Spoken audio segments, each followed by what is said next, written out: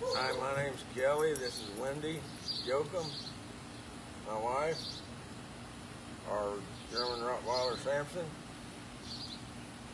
Brought him down here to bulletproof dog training. Trained by Tom Tank. Tom. Oh, that's tough to say. Tom Tankman. I've never owned a dog in my life that was fully trained. I've had him do the basics.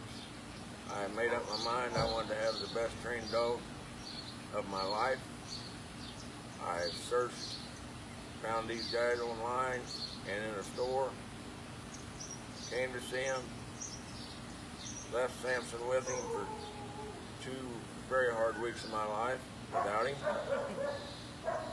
Came back, and I can say that he will go down in my Hall of Fame as the best trained dog I've ever had in my life. They have been absolutely amazing. You can tell that he's been well treated and babied, uh, loved on. He wags his tail. He no, shows no fear, no hesitation when he's given a command. No, nothing. I, I'm, I can't say enough about him.